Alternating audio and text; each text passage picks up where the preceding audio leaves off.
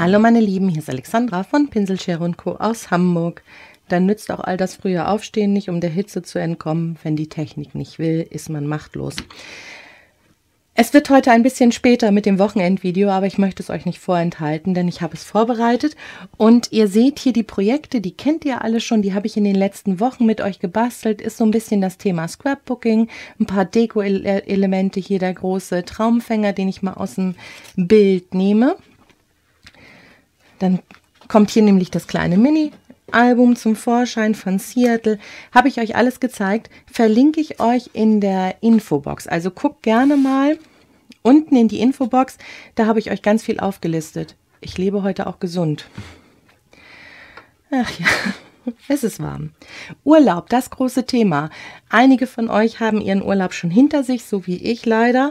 Und andere haben ihn noch vor sich. Manche sind auch noch mittendrin. Aber das Schöne am Urlaub ist auch, halt auch immer ein bisschen die Erinnerung wach zu halten. Und das sind so ein paar Ideen, wie man Erinnerungsfotos verscrappen kann, und um da immer mal wieder durchzublättern. Wir leben alle im digitalen Zeitalter, aber nichts geht über so ein Fotoalbum. Ich blätter da selbst auch mal gerne nochmal durch. Das große, das zentrale Element solcher Bastelideen sind natürlich immer Fotos. Wir haben, ich habe euch ja schon mal gezeigt, wie ich mit meinen Fotodruckern Fotos ausdrucke. So ist ja dieses ausgedruckt, aber dieses zum Beispiel habe ich mit meinem normalen Tintenstrahldrucker ausgedruckt. Und ich habe euch versprochen, wenn, wenn ich aus dem Urlaub zurück bin, zeige ich euch, wie ich das mache. Ist nämlich gar nicht schwer. Und dazu habe ich heute dieses Layout gebastelt. Und ihr seht, dass im Hintergrund ist kein Designerpapier, sondern das ist auch ein Foto, was ich mit meinem A3-Drucker ausgedruckt habe. Nicht ganz auf 30,5 Zentimeter, sondern nur auf die normale DIN A3-Breite, aber aufgeklebt auf dem Bogen 12 x 12 Flüsterweiß. Und schon habt ihr einen perfekten Hintergrund, den ihr weiter verscrappen könnt. Dieses Foto ist so trübe, weil es nämlich neblig war an dem Tag. Und ich habe hier noch kleine Fotos dazu gesetzt. Die Idee, das so zu machen, die habe ich von Dani Pois. Und ich gedacht, Mensch, da muss man erstmal drauf kommen. Und genau das habe ich heute für euch aufbereitet. Gleich im Anschluss habe ich euch mal aufbereitet, wie ich Bilder ablege auf meinem Rechner, dass ich sie auch wiederfinde, wie ich sie bearbeite und vor allen Dingen, wie ich sie ausdrucke mit meinem Tintenstrahldrucker auf DIN A4. Da könnt ihr dann nämlich beispielsweise so einen ganzen Bogen quadratische Bilder für beispielsweise so ein Mini-Album euch ausdrucken. Es ist ganz einfach. Oder aber auch im Rechteckformat, das ist jetzt hier leider Gottes ein Fehldruck. Und das könnt ihr euch dann ausschneiden. Auch das zeige ich euch, wie man das macht, wie man diesen weißen Rand hinbekommt. Und äh, schaut auch mal in die Infobox, da habe ich euch meinen Papierschneider dafür verlinkt. Ich habe euch die Fotopapiere verlinkt und die Drucker, die ich benutze. Und wie ich das gemacht habe, also diese verschiedenen großen Fotos, wie ihr das auch ganz einfach machen könnt, das zeige ich euch jetzt. Und jetzt gehen wir hier von meinem Basteltisch weg. Und ich klicke euch gleich wieder an, wenn wir an meinem PC sitzen und dann machen wir da weiter. An dieser Stelle sage ich schon mal Tschüss und bis gleich. Da sind wir jetzt an meinem PC. Das ist mal eine ganz andere Perspektive, was ihr hier seht. Ich hoffe, mein PC schnauft nicht so sehr. Es ist heiß. Ich mache das jetzt auch schon das zweite Mal. Das erste Mal stimmten Spur und Ton nicht überein. Ich hoffe, das kriegen wir jetzt hin. Ja, mein Bildschirm und ich sagte ja, äh, Bild, Bilder drucken, Bildbearbeitung, das setzt sich bei mir in drei Schritten zusammen. Und zwar Bildorganisation, Bildstruktur, also wie lege ich Bilder ab, ähm, wie bearbeite ich sie und wie drucke ich sie. Das wird heute also vielleicht auch ein bisschen längeres Video. Kurz dazu, wie wir uns organisieren. Wir sind noch dabei, das richtige System für uns zu finden. Wir müssen ja hier zwei Personen übereinander bringen. Was wir grundsätzlich machen, ist, dass wir auf einer Cloud-Lösung bei OneDrive ähm, unsere Daten ablegen, Bilder, Videos, alles Mögliche, worauf wir auch unterwegs zugreifen wollen. Wir haben, wir arbeiten mit unterschiedlichen Rechnern, also wir haben zu Hause jeder einen Laptop. Ich habe dann nochmal meinen Arbeitslaptop, ich habe hier im, im, Büro auch nochmal einen, einen Rechner stehen und wir wollen natürlich auch unterwegs von unseren Handys mal darauf zugreifen wollen, weil wir darauf auch immer nochmal unsere Ausweiskopien und Reisedokumente abgelegt haben, damit, wenn wir im Ausland sind, und uns irgendwas abhanden kommt, dass wir das dann hinterlegen können. Aber wir legen natürlich auch unsere ähm, Bilder ab. Ihr seht hier so unsere Ordnerstruktur. Das sind nur die Ordner, die ich mir für die Ansicht freigeschaltet habe bzw. angelegt habe. Ich habe hier oben meinen PSC, also meinen Pinselschere Co-Ordner. Da ist alles Mögliche für den Blog und äh, für mein Team und sowas äh, abgelegt. Und wir haben natürlich auch Bilder und da sind wir jetzt noch nicht so ganz auf einer Struktur abgelegt. Wir haben hier einen Bilderordner. Wir haben aber zum Beispiel auch hier ähm, Griechenland und griechische Inseln. Da sind auch die Videodateien hinterlegt. Wir nehmen uns und wir haben hier, hier hinten, nee Quatsch, hier.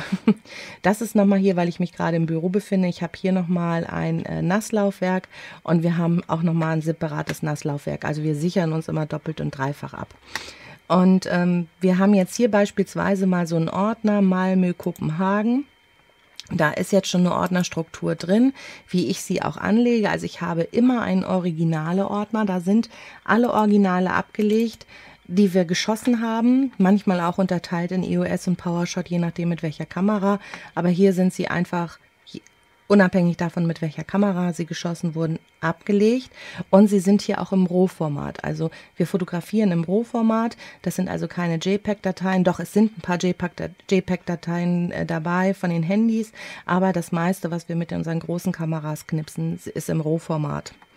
Ähm, dann habe ich immer einen Arbeitsordner. Da ziehe ich mir, also dieser Originalordner wird nur zur Ablage für Originalfotos äh, verwendet. Danach wird er nicht mehr angefasst. Der wird nicht mehr bearbeitet, sondern ich kopiere mir den und mache ihn dann zu einem Arbeitsordner. Und ich ziehe mir das dann auf den jeweiligen Rechner, auf dem ich arbeite, weil es mir von der Cloud-Version manchmal ein bisschen zu lange dauert, die Videos herunterzuziehen. Also ich nehme dann quasi meinen originale Ordner, kopiere mir den, und füge ihn dann auf meiner jeweiligen Festplatte ein unter Bilder. Das habe ich hier schon mal gemacht, nämlich in Demo Malmö, damit wir nicht durcheinander kommen. Da habe ich mir den schon mal eingefügt und den benenne ich mir dann um in Arbeitsordner. Damit wir hier nicht durcheinander kommen. Und dann lege ich mir hier auch meistens schon mal einen neuen Ordner an. Der heißt dann Bilder bearbeitet.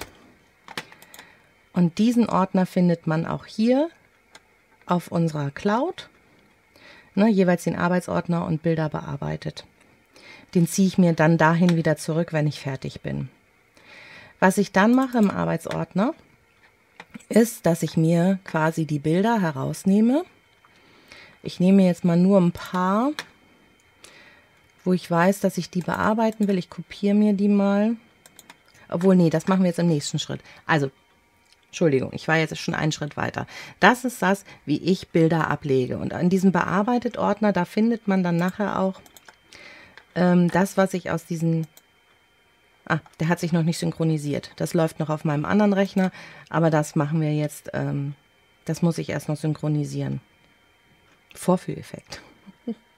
aber so, jetzt sind wir beim Thema Foto bearbeiten und Fotos drucken. Ich benutze dafür zwei Programme.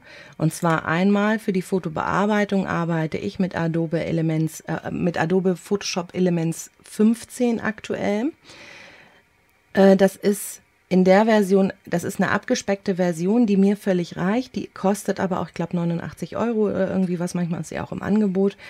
Und ähm, das ist die das Programm, mit dem ich mich auskenne. Es gibt auch Free-Versionen. Äh, Gimpel, glaube ich, habe ich x-mal versucht, mich reinzuarbeiten, komme ich nicht mit klar, aber ich bin halt Photoshop, damit habe ich angefangen. In diesem Programm kenne ich mich aus. Ähm, es braucht dieses Programm wahrscheinlich nicht. Also wenn ihr nicht in Rohformaten ähm, fotografiert, könnt ihr gleich auf das Programm wahrscheinlich umswitchen, mit dem ich drucke und zwar ist das Photo Escape. Es kann sein, dass das ist in, in einer Free-Version. Ihr könnt upgraden, kostenpflichtig auf eine Pro-Version. Ähm, ich habe die bisher noch nicht gebraucht. Alles, was ich mache damit, kann ich auch super gut in, ähm, in der Free-Version machen. Die kostet euch also nichts. Und da könnt ihr auch Bilder bearbeiten. Aber wenn ich jetzt mal hier zum Beispiel raufgehe und zeige euch meinen Bilderordner. Wo, wo habe ich ihn hier? Mein Arbeitsordner.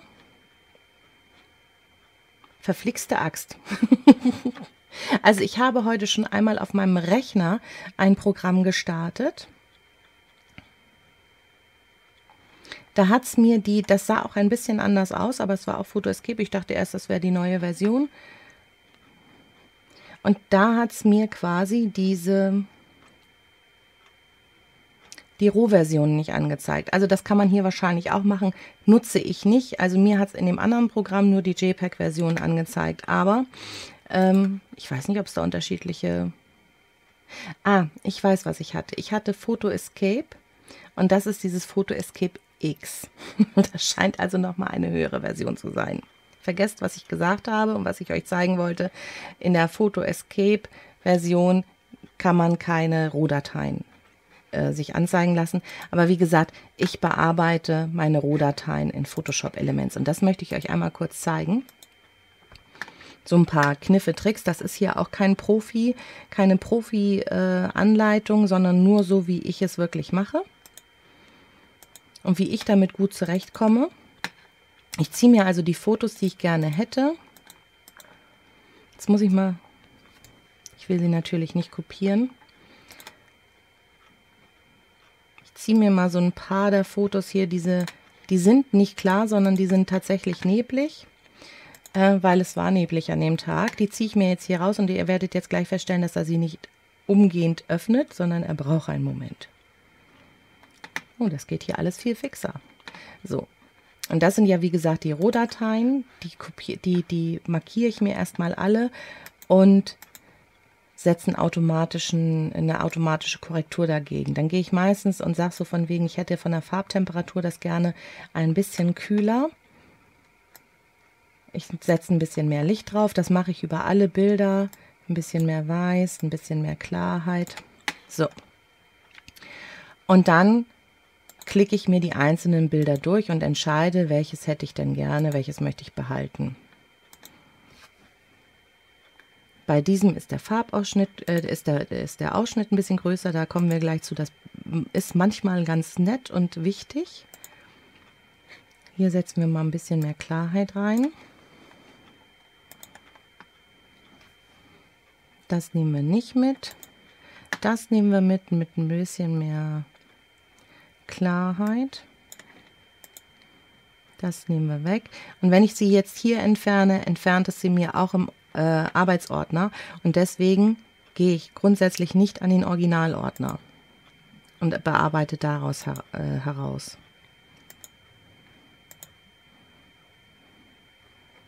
Und jetzt wähle ich mir ein bisschen was aus.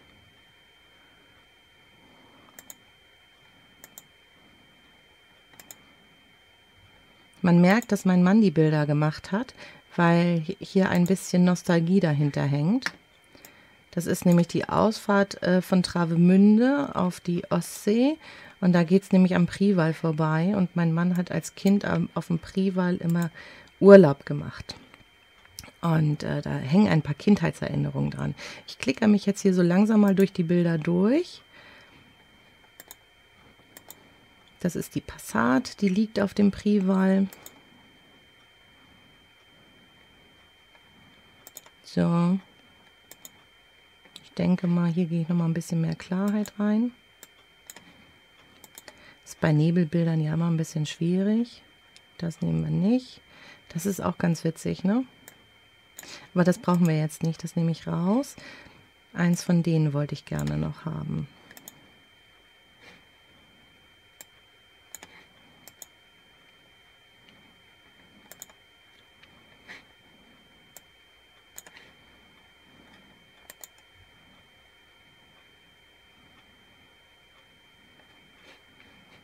Das nehme ich auch raus. Das möchte ich auch gerne haben. Da möchte ich euch nämlich gleich noch ein bisschen was in der Fotobearbeitung zeigen. Das ist auch ganz nett. Das geht raus, das geht raus. Das ist auch witzig, ne? Aber brauchen wir jetzt auch nicht. So. Und die öffne ich mir jetzt und das dauert jetzt auch einen kleinen Moment, bis sie alle geöffnet sind und dann gehen wir in die Fotobearbeitung. So, jetzt hat er alle Bilder rübergezogen. Er zeigt mir das letzte an. Ich habe hier unten, kann ich mir alle Bilder abrufen, die ich ähm, jetzt ausgewählt habe und wir fangen mal mit dem an. Ich kann die Bilder natürlich so lassen vom Ausschnitt her, ist überhaupt kein Thema. Aber ich finde das von der, von der Anordnung her nicht optimal, deswegen schneide ich halt ganz viel zu. Und das, da ist Photoshop echt für mich. Achso, ich habe hier noch das falsche Format eingestellt. Ähm, und zwar schneide ich als erstes erstmal ähm, im 10x15 Format schneide ich zu. Das heißt, ich wähle mir hier mal so einen Bildausschnitt und da möchte ich euch einfach ein bisschen was erklären. Das erste, was ich mache, ist, dass ich mir die Horizontlinie gerade ziehe. Also hier ist sicherlich perspektivisch auch noch ein bisschen was drin, aber ihr seht hier, dass es da einen größeren Abstand hat als da. Das heißt, ich fasse das an und ziehe das ein bisschen gerade. Jetzt war es bald ein bisschen viel. Es ist immer so ein bisschen Fingerspitzengefühl. Wackel, wackel. So. Kommt ganz gut hin. So, und dann gibt es so etwas, das nennt sich goldener Schnitt. Das ist bei der Malerei, das ist bei Arrangements, das ist in der Fotografie ganz wichtig. Und zwar habe ich hier dieses Auswahlgitter mit den neun Kästchen. Das heißt, ich habe sowohl horizontal Drittel als auch vertikal Drittel. Und ähm, es ist für das Auge optisch immer ganz nett. Ähm, wenn, ein, wenn man jetzt wie hier ein, ein, freies Feld hat und nur ein Objekt hat, dass man das Hauptobjekt so ein bisschen auf diesen Scheitelpunkt im unteren Drittel sowohl horizontal auch als vertikal setzt. Ihr seht, dass es sitzt hier auf dem Scheitelpunkt. Und damit wirkt ein Bild harmonisch. Jetzt könnte man natürlich noch ein bisschen hier ausschneiden, ähm, dass man den, den, den Bildausschnitt ein bisschen verringert.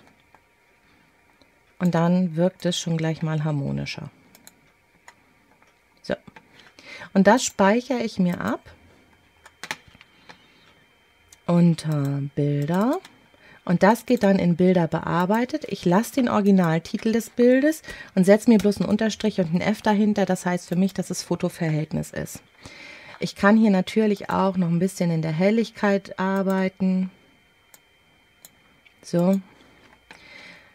Wenn ich jetzt einen anderen Bildausschnitt wähle, dass ich jetzt zum Beispiel sage, so von wegen, ich mache das Boot in die Mitte, wirkt es irgendwie nicht harmonisch. Versteht ihr, was ich meine? Also es ist schon, es ist schon was dran an diesem goldenen Schnitt. Nehme ich mir das nächste Bild, da habe ich wieder so ein einzelnes Element. Das heißt, ich ziehe mir das auf und setze mir dieses einzelne Element so ein bisschen in die Nähe dieses oberen Drittel Schnittpunktes. Zack. Wirkt harmonisch. Ich könnte hier noch die, die Horizontlinie, aber die wirkt eigentlich schon recht gerade. Und auch das speichere ich mir wieder ab. Unter Bilder bearbeitet. Ach, ich habe es hier als Photoshop-Element. Ich muss es aber als JPEG speichern. So. Weil ich will es ja weiter bearbeiten. Das heißt, ich mache das hier mit dem auch nochmal. Schritt zurück. Speichern unter und das nehmen wir uns jetzt mal als JPEG. So. Und so arbeite ich mich durch diesen ganzen Ordner. Hier haben wir jetzt etwas, wir haben so ein, ein Farbton dieses Bildes, das ist bei, bei Nebel sehr schön. Und wir haben hier unten zwei so farbliche äh, Elemente. Und die sind natürlich ganz nett. Und hier habe ich jetzt, die setze ich mir ins untere Drittel. Und dann habe ich hier noch etwas. Ich habe nämlich hier auch nochmal die Drittel, dass ich hier quasi die vom, vom Schiff habe, von der Fähre und hier zwei Drittel beinahe Himmel. Das ist auch eine sehr schöne Aufteilung. Macht das Bild gleich ein bisschen interessanter. Man kann das auch noch ein bisschen kleiner ziehen.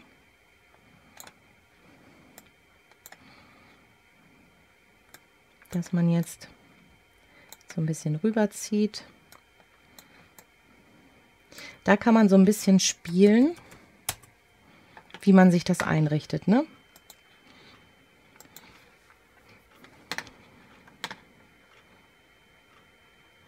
Jetzt muss ich immer gucken, dass ich im richtigen Ordner lande. Und auch da F. Fotoverhältnis. So, ich wollte euch aber noch ein bisschen was zeigen. Hier ist es natürlich so, den drücke ich jetzt nicht an, ans rechte Drittel, sondern den würde ich mir in die Mitte setzen.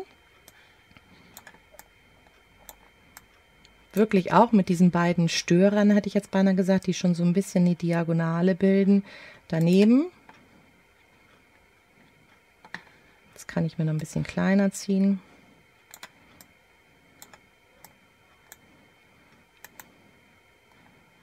So, es ist jetzt nur, da kann man nachher natürlich immer noch so ein bisschen dran rumspielen.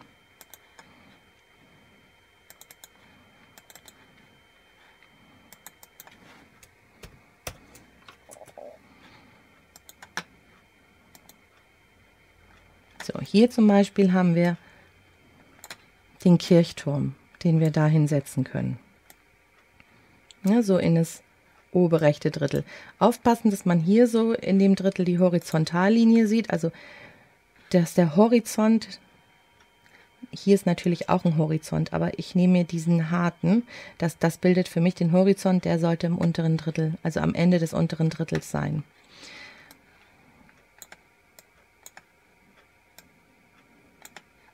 Ich kann mir den Kirchturm auch noch ein bisschen weiter darüber holen, dass man von der Landspitze noch ein bisschen was sieht. Ups, jetzt war ich zu weit rüber gerutscht.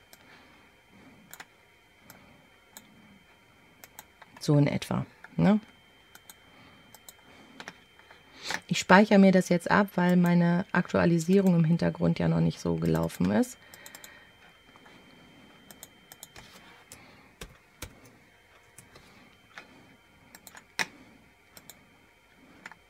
So, hier habe ich das Hotel was ich mir ein bisschen gerade ziehen muss, damit es mir nicht aus dem Bild kippt oder ins Bild rein. Und das setze ich mir jetzt hier in diesen Bereich als Eyecatcher. Und dann habe ich mit dem Bereich hier unten, der auch im Drittel ist, wieder eine Diagonale gebildet.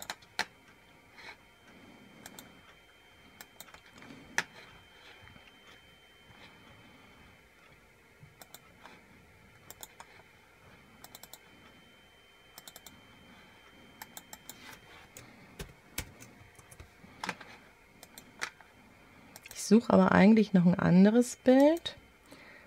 Die brauchen wir jetzt nicht. Ich wollte euch noch was anderes zeigen.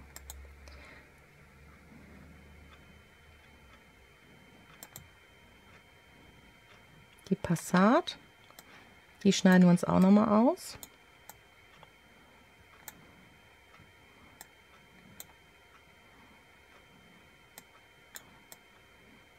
Kriegen wir jetzt nicht genau auf diesen Scheitelpunkt gesetzt, weil das Bild da drüben sonst nicht rüber reicht. Wir können aber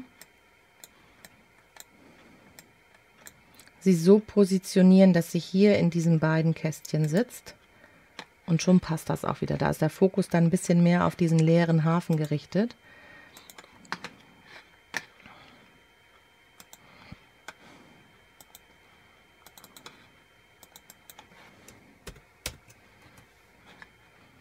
Bildbearbeitung braucht auch immer ein bisschen länger.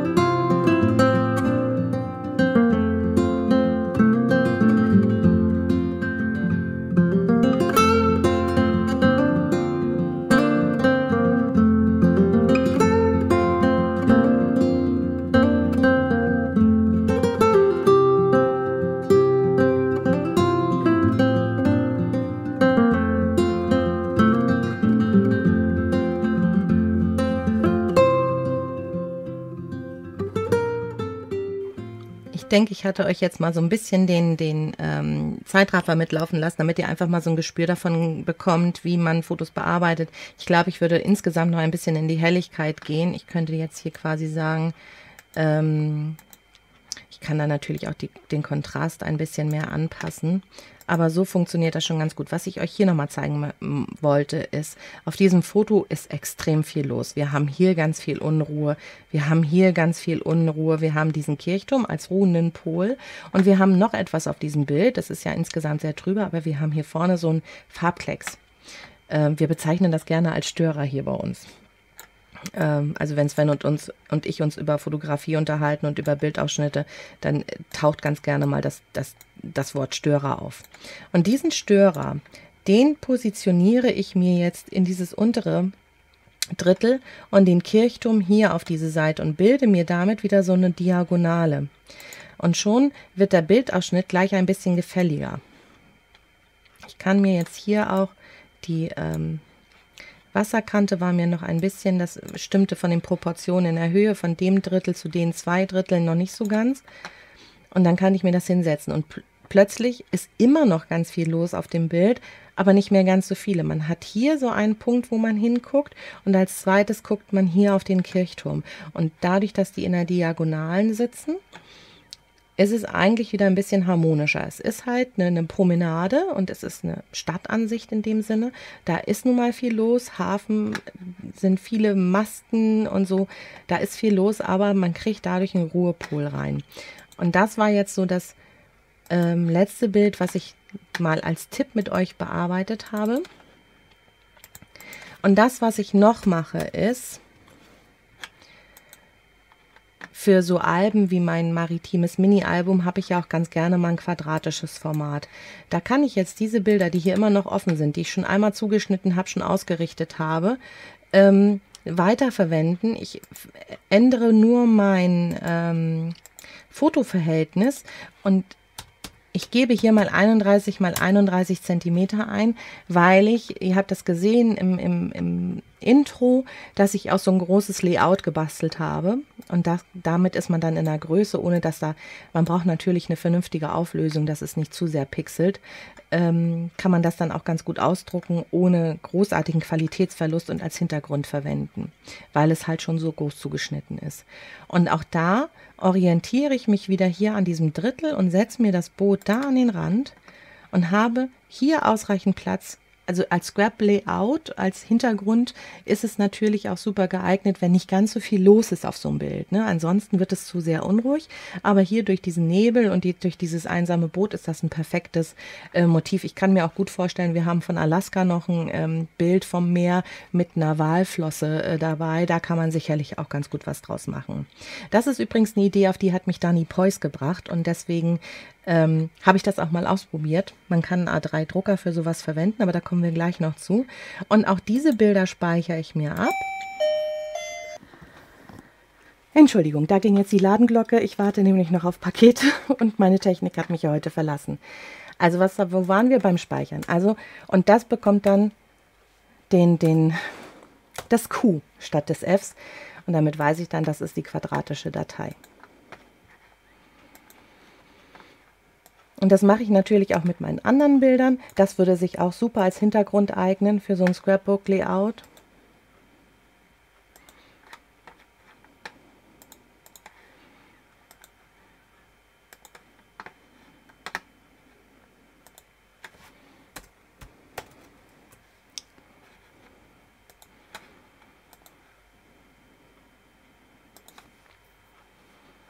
Es ist natürlich das Q und nicht das Ad.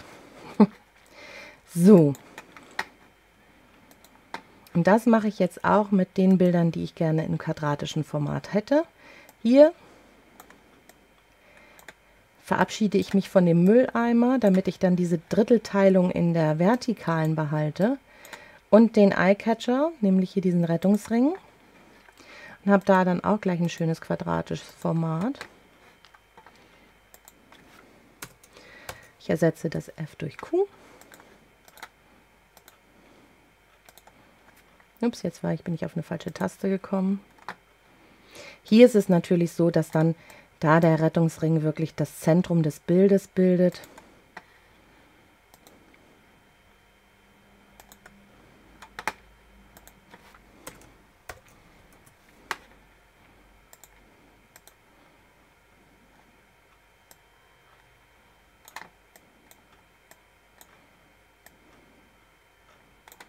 Im Hintergrund klingelt jetzt auch noch mein Telefon, da kann ich jetzt aber leider gerade gar nicht rangehen.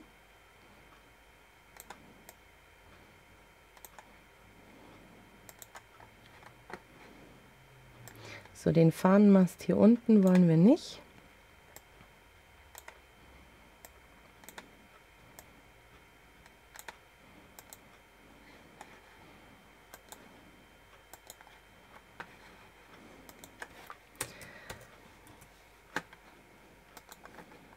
So.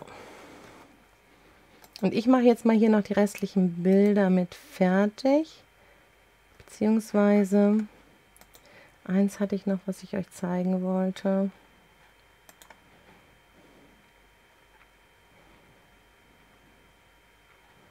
Hier zum Beispiel bei der Passat.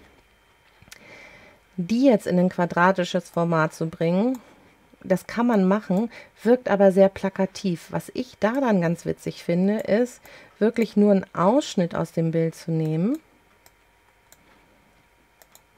Und man erkennt trotzdem noch, halt, der war vielleicht ein bisschen schwach gewählt.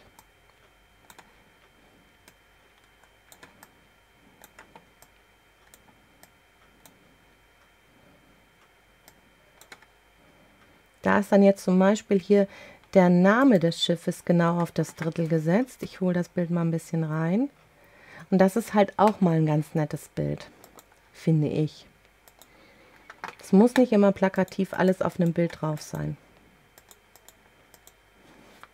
So, ich mache jetzt hier mal noch ein paar quadratisches, quadratische Bilder fertig, damit ich euch dann gleich nochmal zeigen kann, wie ich dann diese Bilder drucke.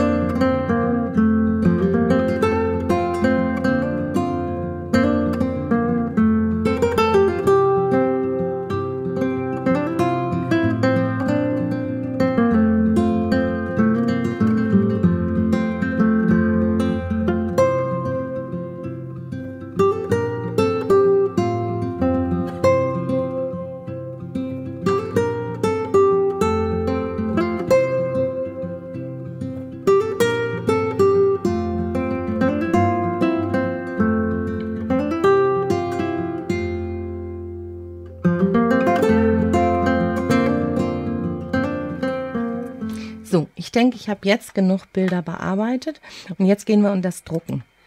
Und dafür habe ich das, Proto, äh, das Programm Photoscape X. Wir haben gelernt, ganz wichtig, das X. Ähm, da könnt ihr hier natürlich auch die Fotos bearbeiten. Ihr könnt sie sicherlich auch zuschneiden, damit habe ich mich nie beschäftigt. Ich benutze diese Programmversion zum Drucken. Und ähm, ich habe zwei Drucker sie sind eigentlich identisch, aber das eine ist ein DIN A4-Drucker und das andere ist ein DIN A3-Drucker. Ich habe jetzt hier den, den, ich verlinke euch das in der Infobox, genauso wie das Programm und allem Pipapo. Das habt, findet ihr in der Infobox und auch das Papier, auf dem ich drucke. Ähm, ich habe hier den, den ähm, A4-Drucker und ähm, der druckt mir jetzt hier auch im Hochformat, der druckt auf 210 ähm, mal 297, das ist das DIN A4-Format und er hat einen Randdruck drin. Ich kann allerdings auch, ich, man müsste den auch einstellen können, wenn ich, das ging in der anderen Version etwas einfacher, man kann es auch randlos drucken lassen. Da die meisten von euch aber sicherlich keinen Drucker haben, der randlos druckt, habe ich mir gedacht, ne, Wir bleiben hier mal mit dem Rand. Da kann man nämlich auch ganz gut arbeiten. So, und was ich jetzt hier mache, ist, ich öffne mir den Ordner Bilder bearbeitet, wo ich eben meine Bilder abgespeichert habe. Und ich sehe ja hier meine äh, Bilder im Quer- und im, im, im, quadratischen Format. Und ich suche mir jetzt einfach mal die Bilder raus im Querformat und ziehe mir die mal wahllos hier rüber in das Bearbeiten-Feld. So. Und jetzt hätte ich hier quasi ein Foto, was es mir dann auch ausfüllen, wir sehen das hier, in ein DIN A4 Blatt packt. Das wollen wir aber nicht. So große Fotos wollen wir in der Regel nicht. Es sei denn, wir wollen hier ein DIN A4 Layout machen, dann würde ich es aber auch randlos drucken. Äh, das kann man in den Einstellungen des Druckers machen. Da müsst ihr euch mal durchklickern. Aber wie gesagt, randloser Druck haben wir ja alle. Man könnte das auch einpassen, dann nimmt er das, dann druckt er natürlich nicht über das A4-Format. Aber was ich euch zeigen möchte, ist unterschiedliche Größen. Wir hätten jetzt hier Zellgrößen. Ähm, ihr könnt euch im Benutzer definiert, beziehungsweise ihr könnt jetzt hier sagen, 5,6 ähm, mal 8,6 cm. Das sind die, die ich auch dem quadratischen Layout aus diesem Thema verwendet habe, diese Größe. Ähm, man könnte auch Hochformat einstellen, dann setzt es das, dann passt es das aber so ein. Das wollen wir ja nicht. Querformat. Ähm, automatisch drehen. Da könnte man jetzt auswählen zwischen Hoch- und Querformat, wie man möchte. Er passt es euch automatisch ein, wenn ihr hier automatisch drehen einsetzt. Ähm, Ihr könnt aber auch benutzerdefiniert reinsetzen. Und da würde ich jetzt, wenn ich jetzt mal hier zum Beispiel 50, das Mini-Album, was ich von Seattle gemacht habe, das habe ich zum Beispiel so gemacht. Ist jetzt natürlich doof, weil ähm, ich gesagt habe, einpassen und ich habe ja als Ausgangssituation, habe ich ja rechteckige Fotos gewählt. Und äh, wenn ich jetzt auf Ausfüllen gehe, nimmt er mir automatisch das Zentrum des Bildes und füllt es mir als quadratisches aus. Das will ich ja nicht, aber deswegen habe ich mir ja auch quadratische Fotos ähm, ausgewählt. Darüber könnte man gehen. Man kann aber auch sagen, Kacheln. Ich hätte jetzt gerne äh, drei Zeilen, nee, vier Zeilen und drei Spalten. Und dann macht er mir die Fotos und er wählt wieder so ein bisschen das Zentrum. Hier bei dem mit dem Hotel ist es nicht ganz so gut gewählt. Ne? Auf Ausfüllen einpassen, macht es mir wieder, dass das das ganze Bild zeigt. Aber ihr hättet dann jetzt hier ähm, nicht ganz quadratische Fotos, sondern hier Zellengröße ist dann 64 mal 68 mm, 6,4 mal 6,8 cm. Ihr könnt aber auch zum Beispiel sagen, ich nehme ja jetzt mal nur die quadratischen rüber. Deswegen, wie gesagt, bearbeite ich sie mir auch immer noch mal, schon mal quadratisch weil ich dann meinen goldenen Schnitt, haben wir ja vorhin gelernt, beibehalte. Jetzt ziehe ich mir die hier rüber. Vorführeffekt. Wollte nicht. Ich habe vorhin mit dem anderen Programm gearbeitet. So, und jetzt habe ich ja natürlich schon quadratische Bilder und ich könnte jetzt sagen, diese quadratischen Bilder hätte ich jetzt in 5 mal 5 cm oder aber benutzerdefiniert 55 mal 55. Ja? Und dann setzt er mir alle Bilder auf die gleiche Größe. Und das Ganze kann ich dann, wenn ich jetzt auf Drucken gehe, ausdrucken. Und jetzt noch ein kleiner Trick mit meinem Hintergrund. Wer ein, in der glücklichen Lage ist, einen A3-Drucker zu haben, so wie ich, Welches, welcher ist es denn hier? Der Papier A3. So. Die nehme ich mir jetzt mal alle raus hier. Und dann nehme ich mir das Bild, was ich als Hintergrund haben möchte, rüber. Das hat es mir, da waren wir auch alle markiert. Nur das eine möchte ich hier drüben haben.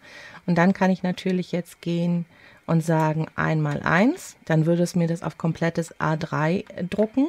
Ich kann aber auch sagen, Zellengröße, Benutzer definiert und sage, ich hätte gerne, das ist ja das größtmögliche bei A3 das Quadrat. Mein Bild ist ein bisschen größer, also nehme ich, damit ich es auch wirklich in der Mitte habe, was hatte ich denn heute aus oder dafür ausgewählt? 285 oder 88. So passt es sich ein. Und das drucke ich mir jetzt auf einen DIN A3-Bogen und schneide mir das hier einfach ab. Ach so, ich habe noch was vergessen euch zu erklären.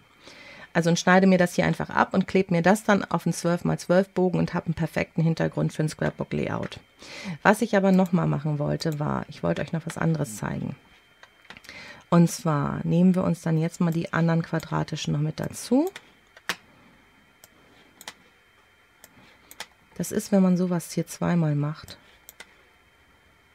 Ich hoffe, es verwirrt euch nicht zu sehr. So. Ich kann hier noch einen Zellenabstand wählen. Ich setze den mal auf 0, damit ihr seht, was ich meine. Wenn ich den auf 0 setze, habt ihr zwischen den einzelnen Bildern keine Abstände. Was ich persönlich sehr gerne mag, ist, dass ich mir Bilder gerne mit einem kleinen weißen Rand zuschneide. Und da hat sich bei mir bewährt, weil das auch mit meinem Papierschneider so perfekt funktioniert, dass ich mir hier einen Zeilenabstand oder Zellenabstand von 6 mm auswähle. Das heißt, ich bilde nämlich dann, wenn ich es nachher zuschneide, hier sind 6 mm zwischen den beiden Fotos, die Hälfte sind 3 mm und ich kann mir perfekt, und das blende ich jetzt mal mit ein, mit meinem Papierschneider, wenn ich die Bildkante genau am Ende der, dieses Feststellbügels äh, positioniere und dann schneide, habe ich genau drei Millimeter und habe genau den Abstand, den ich brauche für das Bild. Und dann gehe ich einmal ringsrum um das Bild und schneide mir das perfekt zu und habe auch so den perfekten Rand. Das funktioniert bei meinem Hebelschneider ganz gut. Es gibt auch Hebelschneider, da endet diese äh, Festhalteschiene ähm, genau mit äh, mit der Schneidekante. Da müsst ihr mal ein bisschen fummeln, wie ihr das am besten hinbekommt. Und das ist im Prinzip das ganze Zauberwerk. So bilde ich mir dann auch meinen weißen Rand und dann schneide ich das zu und dann habe ich meine Scrapbook Layouts. Das heißt, ich brauche keinen separaten äh, Fotodrucker, sondern kann, sondern kann meinen Tintenstrahldrucker weiterverwenden, den ich ohnehin zu Hause habe. Das würde ich jetzt auffüllen, vielleicht nochmal mit einem Doppel von einem Bild oder ähm, mit einem anderen Bild. Ich kann jetzt hier ja noch den, den, den Schwimmreifen oder den, Schwimm, den Rettungsring, Entschuldigung, Schwimmreifen ist auch nicht schlecht, ähm, dazu nehmen oder da das Bild nochmal und dann auffüllen. Und ähm, je nachdem. Also es ist schon, hängt ein bisschen was an Arbeit da drin. Aber ich hoffe, ich konnte es euch damit vermitteln, wie so bei mir die Fotobearbeitung läuft. Da gibt es natürlich viele kleine Details noch, aber das ist vielleicht als kleiner Überblick schon mal hilft euch vielleicht schon mal weiter. Und damit entlasse ich euch ins Wochenende. Ich wünsche euch eine schöne Zeit. Bleibt gesund, bleibt kreativ und ganz viel Spaß beim Scrappen eurer Urlaubserinnerungen. Bis dahin, macht's gut und ich sage Tschüss aus Hamburg. Tschüss.